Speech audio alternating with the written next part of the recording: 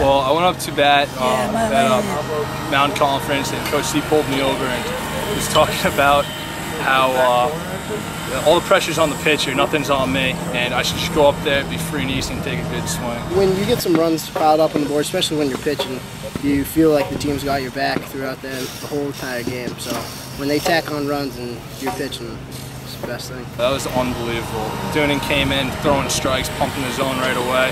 Had a good feel for his slider today, flipping it over for strikes and burying it when he needed to. And he made some big, big pitches at the end, coming hard into a kid to strike him out.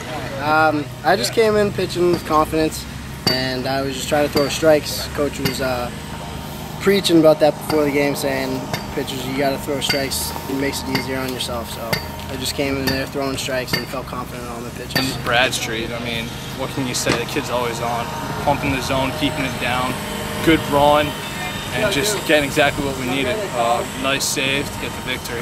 Well, I think in the beginning of the game we came out with a lot more enthusiasm, and we were really there from the start to the end. And like it showed the scoreboard, we tacked on in the earlier game, and then the middle, and then the end. I think you know we came out yesterday, had a good practice, and we just felt good. Um, saw some good pitches to hit today, and everybody was relaxed and just had fun.